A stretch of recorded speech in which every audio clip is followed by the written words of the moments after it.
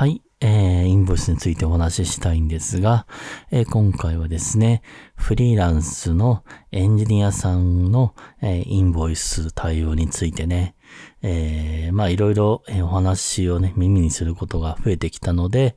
まあ中間報告みたいな感じでね、お話をしたいと思います。まあフリーランスのエンジニアさんといっても私みたいなですね、えー、野良フリーランスですね。もともとはフリーランスって野良なんですが、え、ではなくてですね、ですねちゃんとエージェントさん経由でね、えー、フリーランスと名乗ってる方のお話ですね。今はこちらが主流だと思うんですが、そうするとですね、えエージェントさんとのね、え関係になってくるわけなんで、まあ、業務委託だと思いますね。でですね、えー、まあなんかアンケートとかもね、えー、出てるんですが、その、まあ要するに10月インボイス制度が始まった場合ですね、ギャラはどうなのかと、えー、消費税相当分もらってましたが、今までね、それはどうなんだと、えいうアンケートみたいなのがこう出てるんですが、えー、まあですね、えー、変わらないと。いうのがほとんどっぽいですね。えー、それがまあ、そう、そういう変わらないっていうのが、えー、変わらないから声が大きいということも言えるとも思うんですけれども、まあなんか実質変わらない人の方が多いみたいですね。でですね、えー、ただね、変わるって人もね、えー、ちらほら聞きます。えー、減額ですね。でね、さすがに消費税全部払いませんっていうのはまだ聞いたことがないんですが、あるんじゃないかなってね、思いますね。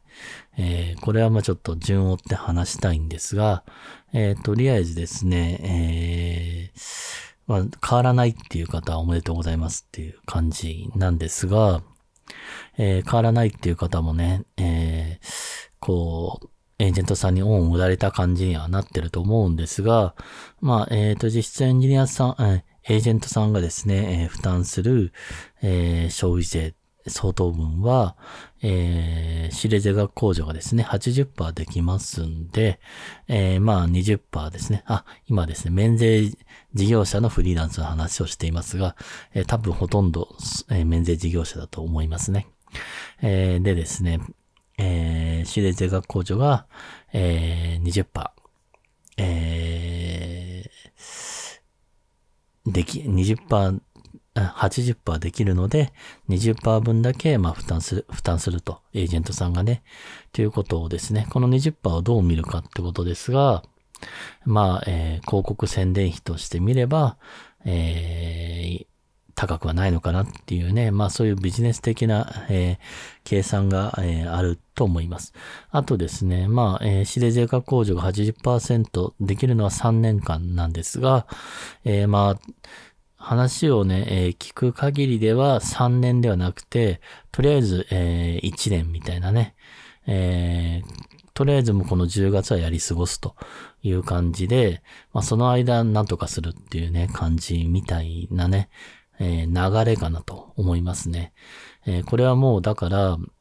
まあ、どっかで回収しなければいけないんで、えー、まあ、えー、どっかの、えー、契約更新のタイミングとかで、えー、どっかにオンすると、えー、この損してる、えー、仕入れ税額控除が、えー、20%できない分をですね、えどっかでオンするということになりますね。えこれはだから契約更新時に、えー、もちろん消費税相当分をね、えー、10%を、お支払いしますけれども、それはお支払いしてる見えて、実は、えー、値下げになってるっていうね、えー、ことはまあいくらでもまあ操作できますんで、えー、まあ、えー、この3年の間に、えー、うまく回収していって、そしてまあ今度50%になりますから、3年終わった後はね。なんで、えー、その間に、えー、まあ、えー、課税事業者になってくださいねっていうふうに促していくんじゃないのかなと、さすがに50%しかできないとなるとね、えー、ちょっと回収、えー、できるかどうか。それとあとですね、その3年の間にですね、消費税が上がる可能性も、えー、だんだん高くなってきたんで、えー、そうするとですね、10%どころじゃなくて、まあ、次だから15%とかね、20%とかなったらば、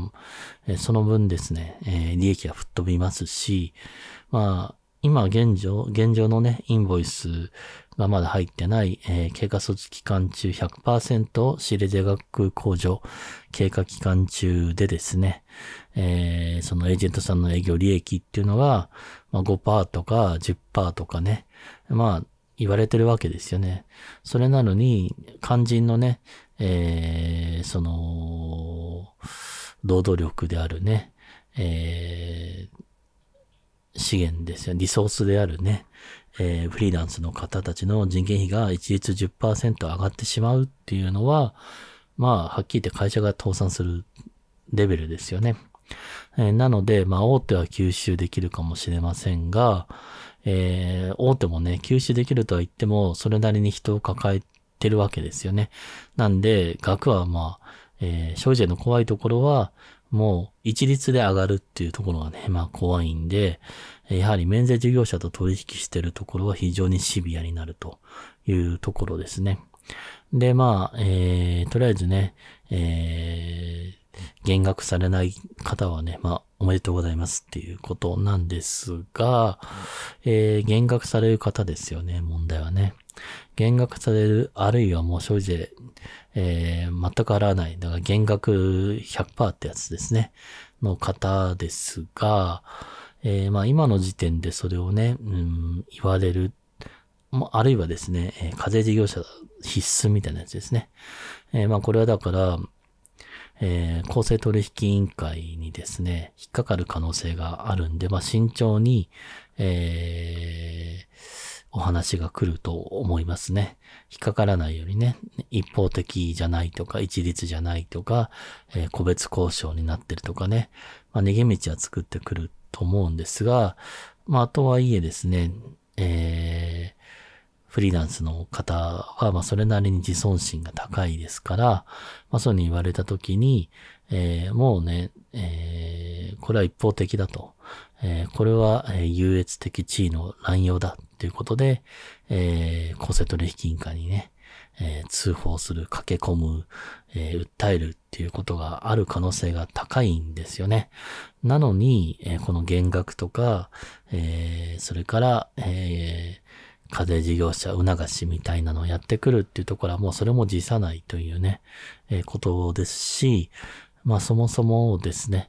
えまあ、えフリーランス、まあリソースですよね。えのことをそれぐらいにしか思っていないということですし、えー、あなたの価値を、えー、そういうふうに見積もっているということですね。え、他の会社にどうせいけないだろうとかね、他のエージェントと契約できないだろうというふうに、まあ、足元乱れてはいると思いますね。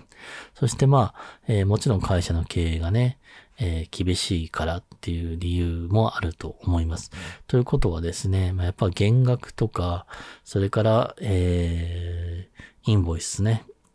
インボイス番号必須っていうふうに、えー、なった場合はですね、そもそも会社、エージェントさんがやばいんじゃない？エージェエージェントさんの経営状態がね、そんなに良くないんじゃないかなってね、えー、思われた方がいいのかもしれないですね。そう、なので、このインボイスが始まる前にですね、えー、転職、転職っていうんですかね、エージェントね。えー、エージェントを変えられるというのが、まあ、一番いいんじゃないかなと思いますね。えー、その、えー、10月以降もですね、インボイスが入ったとしたらですね、10月以降も、えー、減額なしっていう会社に、さんにですね、えー、転職するっていうのは一つの手だと思いますね。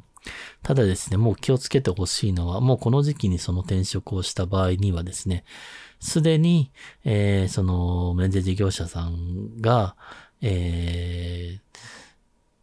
インボイスをね、えー、登録しないという前提で、えー、ギャラを組まれる可能性が高い。かもう今からですが、高いと思いますんで、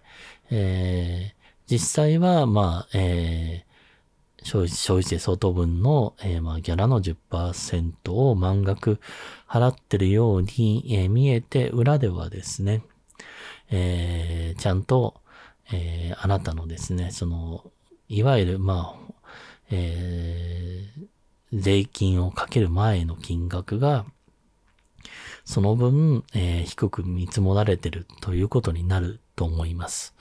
えー、なので、まあ、えー、今ですね、転職するっていうのは、えー、まあ、もう10月以降の、えー、幅になってると思いますので、えー、まあ、えー、まあ、そもそもギャラがね、えー、下がるんじゃないのかなと思いますね。ただそれでも、えー、まあまとも、まともなエージェントとはちょっと言えるかどうかはね、難しいですが、何らかのね、えー、対策を打って、えー、お金を捻出してるという意味では、ビジネス的には、まあ、可能性があるエージェントさんなんじゃないかなと思いますね。ただ、まあ、それを、えー、まあ、ブラックにね、えー、使ってる可能性もありますんで、えー、まあ100%ではないですが、まあそれでも、え、減額したりですね、それから、えー、インボイス登録を強要するようなエージェントさんよりは、いくらかマシなんじゃないかなと思います。本当はエージェントさん経由なしで、えー、直接ですね、えー、クライアントと契約するっていう方向が多分一番いいんですが、えー、なかなかそうはいかないと思います。少数派だと思いますんで、えー、そのエージェントさんとの関係で言えば、えー、今ですね、えー、インボイス導入されるからといって、え、減額するっていうふうにね、えー、言ってくる、え、エージェントさんっていうのは、やっぱちょっと将来性がなさそうだなっていうね、思っていいんじゃないかと思いますね。そしてまあ自分のことをそういうふうに見てるんだっていう、まあ逆の試金石にはね、えー、なってると思いますね。えー、ただですね、えー、まあ、いずれどっかで、えー、この、えー、帳尻をね、合わせなければいけないので、まあ、最終的に、まあ、免税事業者のままでいると、え、何らかの、えー、減額が目に見えない形で、え、ギャラが減っていくというのは、まあ間違いないってことですね。えー、その、向こうもビジネスですから、えー、それを、えー、クライアント先から取るか、あなたから取るかしかないわけですからね、基本はね。なんで、えー、非常に厳しい時代になるとは思います。それでですね、まあ、インボイスはあまり関係ないんですが、えー、やっぱりこのちょっとコロナ明け、コロナが、えー、変わってですね、え、コロナ自体は変わってないんですが、えー、5類になりまして、そしてまあ、えー、リモートワークでぬくぬくやっていたのが、えー、出社とかになったりとか、出社、週3日出社とかにね、なったりしていって、まあ環境が変わってたりするわけですよね。そして、ちょっと、えー、2023年の頭そ、そのちょっと前から言われてることは、ちょっと2023は、まあ、エンジニアさんは、えー、冬の時代なんじゃないかなと。えー、やはりコロナでですね、えー、できる人とできない人の違いがはっきり分かれてしまったっていうのが、まあ、大きな、大きなね、えー、ことだと思いまして、えー、まあみんなリモートワークになったことでですね、じ、もう今仕事の成果しか見えない状況になってて、毎日会社に行って、あ、来てますね、仕事してますね、ではなくて、実際に、えー、仕事してるかどうかっていうのが、えー、まあ、えー、その、えあれですね、 Slack とか、GitHub とか、それからまあ、え上司の評価ですよね。上司の評価も、えー、上司の評価もこう、頑張ってるとかそういうのじゃなくなっちゃいましたからね。えー、なんで、まあ、ツイッターでさえね、あんなことになったりしてるんで、まあみんなね、エンジニア切りたいわけなんですよね。むちゃくちゃ金かかる割には態度できえな、みたいなね。で、そんなに使えないじゃんって思ってるわけなんですよね。なんで、まあ、使える人はね、えー、大丈夫だと思いますけれども、ただお金をね、えー、もらいに会社に行ってたりする人はね、えー、これは、えー、クビになると思います。えー、それはもうね、えー、しょうがないですよね。そもそもまあフリーランスなんで、えー、その技術を追ってね、えー、お金にしてるんで、えー、技術がない人は、えー、クビになってしまうということはしょうがないかなと思いますね。まあそしてまあこう、フリーランスがね、ちょっとね、その、えー、増えすぎたっていうのはね、あるんですよね。それはまあ、えー、頭数をね、えー、フリーランスの頭数を稼いで、それを、えー、まあ、プロジェクトにぶっ込んで頭数で、えー、ギャラをもらうっていう仕事の仕方が、まあ、エージェントですよね。えー、主流だったので、えー、とにかく、えー、頭数揃えて、えー、案件にぶち込むというのが、まあ、2022年ぐらい、2021年、2022年ぐらいまでだったと思うんですが、えー、実際、えー、その、成果ベースに今ね、えー、なってきてるんで、えー、まあ、バンバンね、えー、切られると思いますね。で、まあ、えー、できる人はですね、えー、その案件がね、終わったとしてもね、案件スライドで、えー、下手したらね、ガーデニング休暇みたいなのもね、あったりして、私なんかも全然何も仕事しなく、で、2、3ヶ月ブラブラしてた、みたいなこともね、ありますけれども、その、えー、プロジェクトを渡り歩いていくというような案件スライドという形になる可能性はね、えー、高くて、まあ、もう市場にできるフリーランスの人が出回らなくなってしまうと。で、まあ、市場で捕まえられるフリーランスの人は基本、えー、期待しないというような感じになってしまうんで、えー、まあ、そこにですね、新規参入していくっていうのはね、まあ、かなり厳しい、えー、状況だなと思いますね。で、まあもう一つはですね、このチャット GPT みたいな AI ですよね。で、私もチャット GPT のおかげで、まあ仕事がね、えー、だいぶ楽になりました。えー、まあ検索するだけでも全然違いますよね。プラス、えー、まあいろんなね、資料を書いたりとか、えー、まだプログラミングとかにはね、使ってな、まあでも HTML とかはね、えー、使ってたりするかな。えー、まあでも簡単なものです。まだ自分のできる範囲で。まあちょっとデバッグとか、えー、コードサポートみたいなのは使ってないですけれども、まあもう完全にね、えー、デバッグみたいなものを書いてるそばからデバッグしてくれるようなの昔からありますけど、まあ、もっと楽になってるだろうなと、えー、思いますね。まあそれでですね、そのチャット GPT みたいなものがですね、えー、まず一時的に仕事量を、まあ、えー、軽くしてくれるということなんで、えー、そもそも、え、人手が、えそんなにいらなくなるっていうね、ことですよね。プラス、その、上流工程の方で、え発生していた仕事も減ってくるということなので、これは、まあ、プログラマー、エンジニアに限らずですね、えー、もう全部がね、そうだと思いますけれども、えー、まあ、本当に AI にね、仕事を奪われると。仕事を奪われるという自覚もなくね、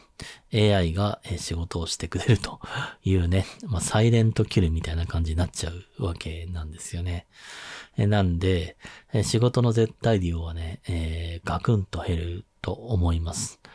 えー、そしてみんなが楽をする時代にね、えー、突入するわけなんですが、えー、残念ながらですね、えお金を稼がなきゃいけないっていうね、ことがありますんで、えお金を稼げる人はだんだん限られてくるというね、えことになってしまうと思います。なので、えまあ私のおすすめはですね、えフリーランスはやめた方がいいかなと思いますね。えまあ日本はね、え、労働者でいるのが一番だと思いますね。で、まあ、えー、まあ、インボイスの話に戻りますが、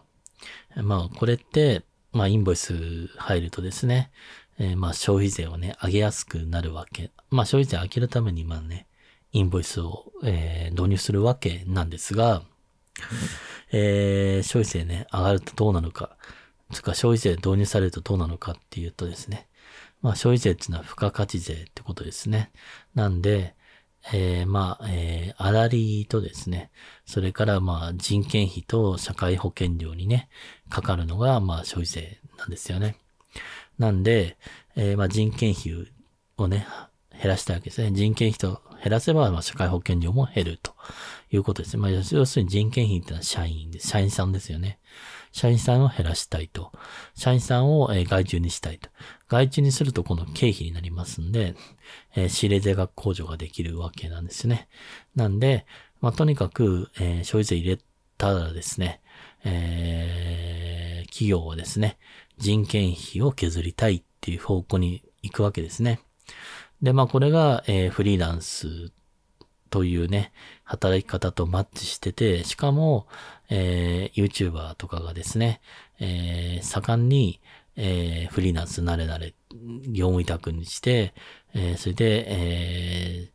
ー、社会保険料分もらってですね、え、そして、え、自分で確定申告すれば、いっぱい経費が使えますよっていう、まあ嘘なんですけれども、そういうふうに促したりとかしてですね、フリーランスをま促進してきたわけなんですよね。そしてそれはまあエージェントもそうですよね。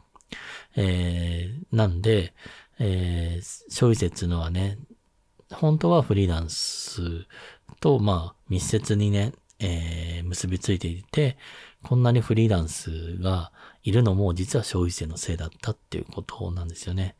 そして、えー、まあ、え、今度ですね、消費税がまた、えー、上がるかな、インボイスが入ればですね、消費税が上がるんですが、消費税が上がれば上がるほどですね、えー、人件費が、えー、ネックになってきますんで、えー、人件費を削りたいと。そしてそれを全部、えー、フリーランスにしたいっ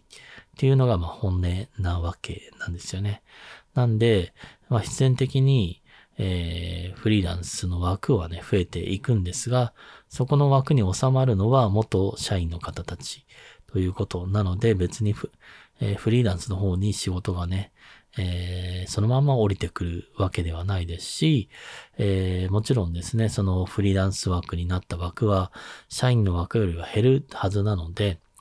そのあぶれた人たちがフリーランスの市場に入ってくる。ということで、えー、フリーランスはまあ2023はやばいっていうふうにね、今、いろんな、えー、YouTuber とかは、まあ大体 2023OK ですよって言ったら多分ほとんどいないと思う。ほぼいないんですよね。なんで、2023はやばいですみたいな感じがね、えー、ほとんどなんですよね。それはまあ、インボイスが、えー、一つの理由、大きい理由なんですが、それ以上に、えー、フリーランスになる人が増えるということなんですよね。で、まあ、えー、そのずっとね、フリーランスっていう立場でいると、どういうことになるかっていうと、えー、結局、労働市場に出てるフリーランスっていうのは、えー、使えないフリーランスっていうふうにね、えー、楽印をされてしまうわけなんですよね。なぜなら、まあ、使えるフリーランスの人は、結局、えー、クライアントが囲ってしまうからっていうことなんですよね。えー、なんで、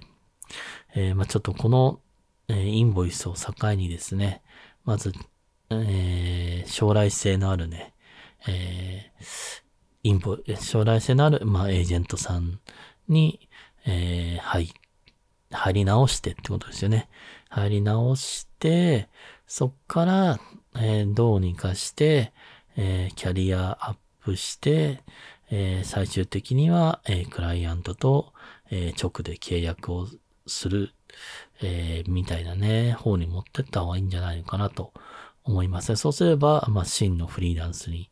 なるわけですね。まあ、それをしない限りではですね、免税事業者のままでいると、まあ、いずれは、えー、仕入れ税額控除が0%になってしまいますんで、そうすると、えー、あなたのギャラは、えー、まあ、自動的にですね、10%低くなるっていうことですね。えー、そのエージェントさんを介している場合はですね。